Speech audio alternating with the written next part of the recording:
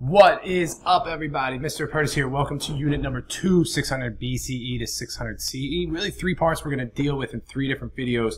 So the first video is going to, this one is going to be about belief systems. The second one is going to be about the empires, or classical civilizations, or maybe you called them golden ages back last year.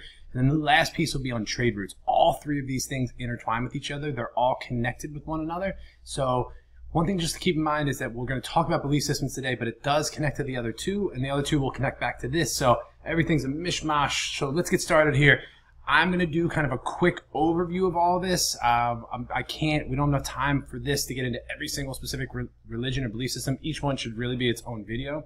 Nonetheless, um, know that we'll talk more about it in class, but this is just a brief overview, kind of a review. And the first thing is there were belief systems in the previous time period. A lot of those belief systems are going to get strengthened or codified is kind of a fancy word, meaning like the codes are going to get uh, more developed and more advanced, I guess you would say. With this, there is a, all these belief systems provide an ethical code to live by.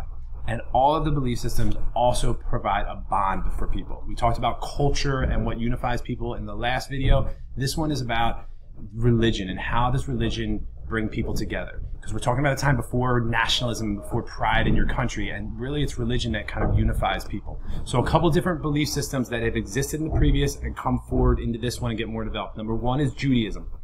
Connects back to the Hebrew scriptures from the previous time period with Abraham. It has a huge influence from Mesopotamia. This is the founding area of um, the Jewish faith and he, the Hebrew scriptures. And over the course of this time period, Jews are going to be persecuted. It's kind of a common theme that we unfortunately see throughout history where um, Jewish people are treated kind of as second class citizens in many empires.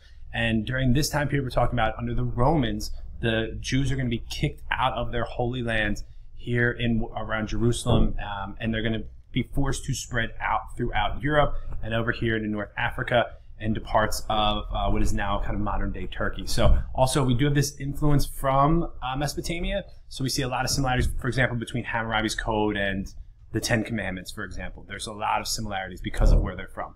Number two, we had the Aryan conquerors who overthrew the Indus River Valley civilization, who brought in the Vedas, and the Vedas are going to be the basis for Hinduism. And kind of one interesting side note to this, or maybe just an interesting fact to this, is there's a little controversy even within Hinduism and Hindus themselves about whether or not their belief system is monotheistic or polytheistic. On one hand, people say it's monotheistic. There is one God who is the creator of all other gods. So all the gods have derived from this one God.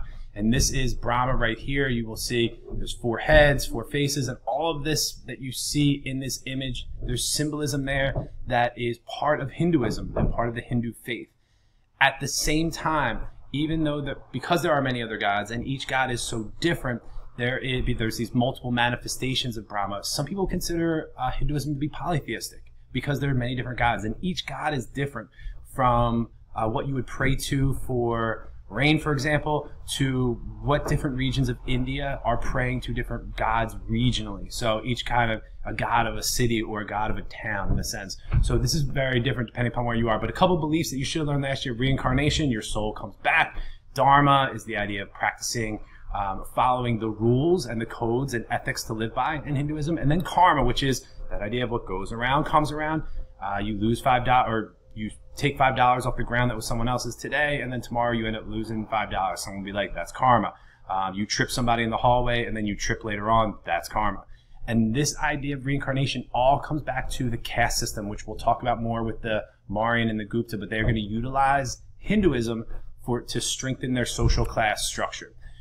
Also, so we, those are the old belief systems. We also have new beliefs that are going to kind of rise up during this period, and we really see almost every major religion minus Islam come to the forefront and rise during this period. So another religion that rises or comes to um, popularity is that was the chair is Buddhism, and Buddhism is in South Asia, which is also known as India, and it's really going to be a reaction to Hinduism. And in this case, we're going to see Buddha, who was a prince growing up, and he was tired of the life and the po- and what he saw in the world and the poverty, and so he goes to meditate by a river, and he um, was watching the stream, and poof, he kind of disappears, and he becomes one with the universe, and which is called nirvana, because he had achieved what is called enlightenment, kind of realizing what the world is. And then he decides to come back again. And When he comes back from his poof existence, he comes back into his human form and he decides to spread the beliefs of what he learned. And he says, What I learned is the Four Noble Truths. And essentially, the Four Noble Truths say all life is suffering. But what makes you suffer is your desires because we want what we can't have, whether it's material possessions, whether it is dating someone else, whether it is having your parents stop nagging you about stuff. We want what we can't get. And if you can give up those desires and you can just live in the moment, then you will, you can achieve nirvana just like Buddha. And there's also this eightfold path, which is the way to eventually get to getting rid of desire. And it's very similar to the Ten Commandments um, and the major codes and other belief systems. Also, we have this uh, Mauryan Empire, Mauryan and Gupta, the two empires in India. He is his name is Ashoka. Um, Ashoka is a he's a emperor. He's going he's Buddhist. He's not Hindu, and most of this region is Hindu, which is kind of interesting. Always we'll see that a couple times in uh, South Asian uh, political systems. So he decides that he wants to spread Buddhism. So he sends out missionaries and merchants and he opens up schools. And we'll talk about the trade routes in video three that he used in order to do this. Also, when religions spread, they change. So you have a couple different image, images here of the different Buddhas. You got the Chinese Buddha, the Japanese Buddha, and you can see the other ones. This is probably the most common in the United States a Buddha that you would recognize and that you would identify with, uh, because these would you would see these sold in Chinatown or somewhere down in New York City, like the little figurines that you rub the belly and gives you good luck. Also, we have Confucianism.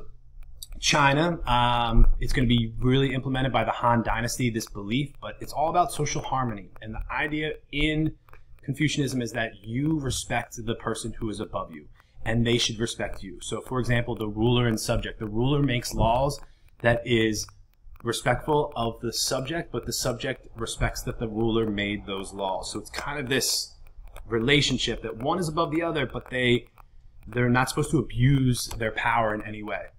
Many people in Confucianism, uh, what is called ancestor veneration, there is no, uh, there's nothing written in Confucianism about the afterlife. So a lot of people take Confucianism as a belief system. So we believe in it, we we follow it as a code, but we also need to uh, pray or to worship those who've died.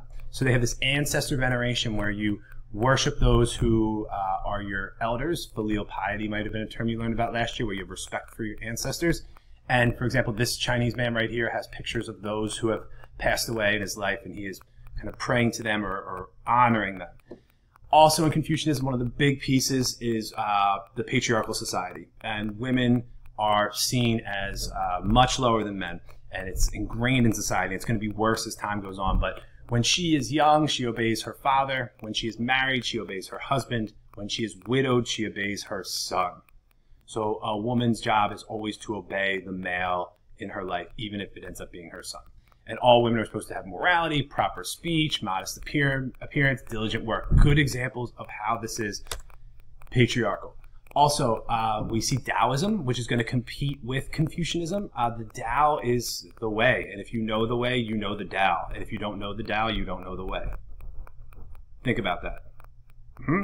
Uh, if you are sur- if you like to surf and you are out in the ocean, it's just you and the waves. That is Tao. That's the Tao right there. You feel that connection with nature. If you're in a park somewhere and the birds are chirping and you lay down and you look up the clouds, that's Tao. And in all things in Taoism, there's a balance. So it's all about the yin and the yang, the male and the female. Um, no one is better than the other. Everything is is in harmony and balance.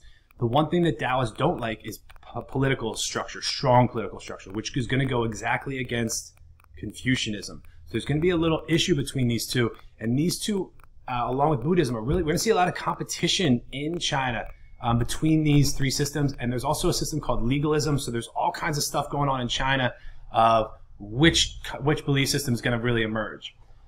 Another belief is Christianity. It's going to be started as a reform movement by a guy named Jesus, who is from an area called Nazareth, which is down in this region right here. He's Jewish.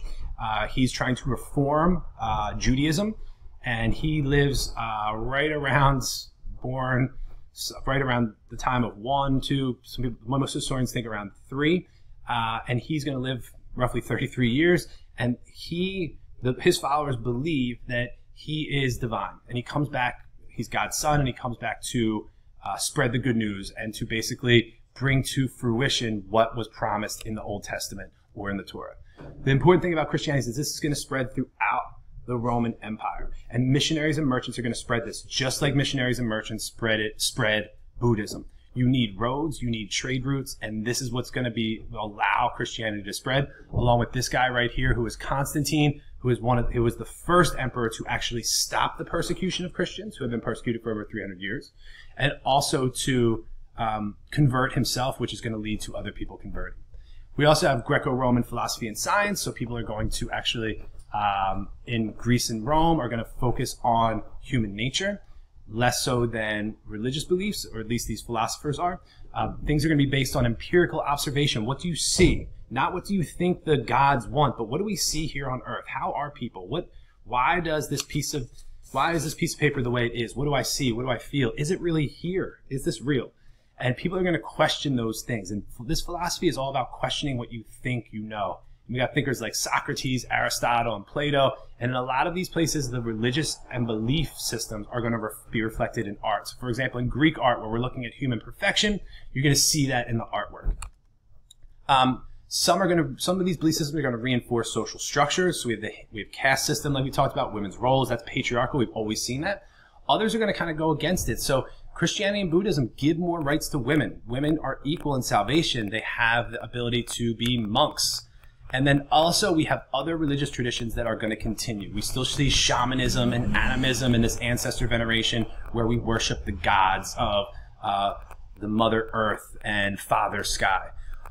With that, that's my wrap up. Um, a lot of information here, so feel free to rewind it, watch it again, come to question, come to class with questions, and I'll help you out. Next time we'll talk about uh, the classical civilizations and how these religions used or how these classical civilizations use this stuff and these belief systems that we talked about, and then eventually how they trade it. That's what I got. Have a good day. Enjoy.